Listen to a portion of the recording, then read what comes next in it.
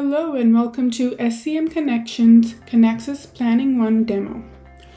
In this demo, we will go over promotional increase demo, which shows how your demand and on-hand inventory is affected if there was a promotional increase in demand. First, we'll go to resources on the left and pick the promotional increase demo. From here, we'll have our task flow open on the right side. So we will go to S&OP Planner Workbook. We have a few different widgets here on the screen. I'm going to verify data setting and change consensus demand plan from revenue to units. That's the only thing I'm going to change here. Next on the consensus demand plan, we will identify the gap to plan, which is the orange part here. Once you identify that, we're gonna click on that and that will take us to S&OP consensus demand plan.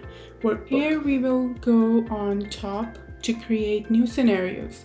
I'm going to name it promotional increase. You can name it whatever you prefer. The instructions call for it to be named dot um, demand plan and you can do that. I'm going to adjust the dates in which we're going to have the promotional increase. Then we will add assumptions, which is 15% increase on selected dates. This increase is only going to be for a month and that's why it's a promotional increase. It's not an overall demand increase. We're only focusing on increasing it for just one month as an advertising sales or promotional increase.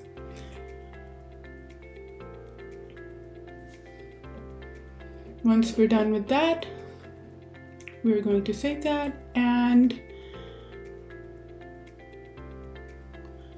we're just looking at assumptions now.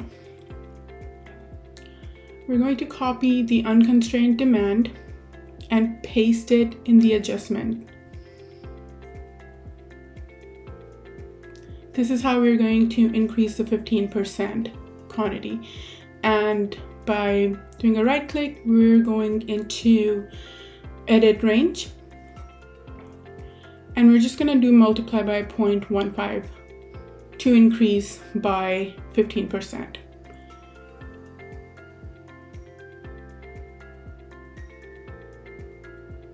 And we're going to do that for each row for the promotional increase time. So I couldn't just go in and click edit the entire row because we are not doing it for the entire year that we see here or just an undefined time since we are only going to do a promotional increase for a month we have to make sure that that increase is only done in those dates so it's a little bit tedious um, to go into each row and increase that, but just for this scenario, that's how it works. Once we're done changing all the applicable weeks, we're going to save the data.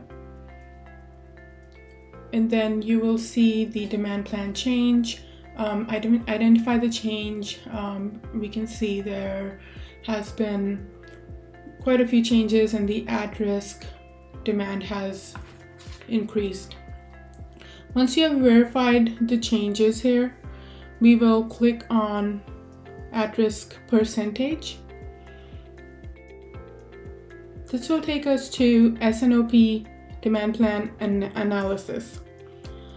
Here we see risk forecast in the yellow area. Click on on that and go to forecast orders. Now we're at demand order analysis. We'll adjust the data settings here um, on top to see late orders only. Down here we can see the forecast orders. You can scroll um, a little bit to the right and see the days, number of days late. Then we return to main dashboard from step one and go to corporate metrics tab on top. We'll add our promotional increase scenario to compare, compare before and after changes. We can see revenue, margin, percentage, key constraints, ending inventory values, and we can see all of that and compare the increases we can see during the month of August and September there is a bump in all of these metrics. Next we will go to supply planner control tower in data settings. We are going to select our scenario.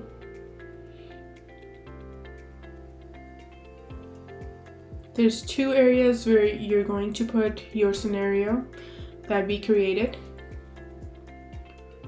to make sure we only see that.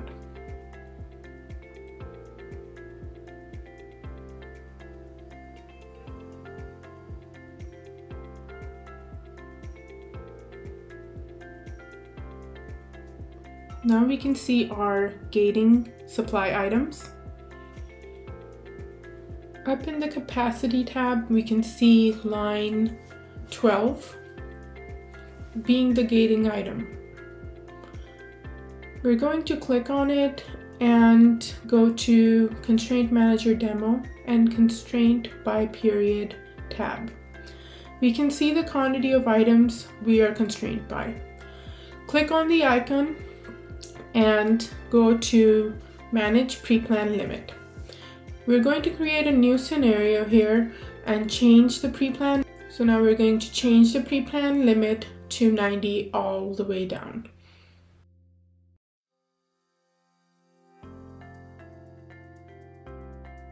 Now we can see the changes in the quantity of our constraints.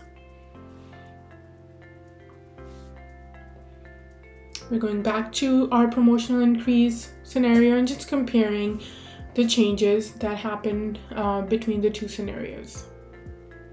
We're going to adjust the data settings from line 0012 to all constraints and go back to constrained by group tab.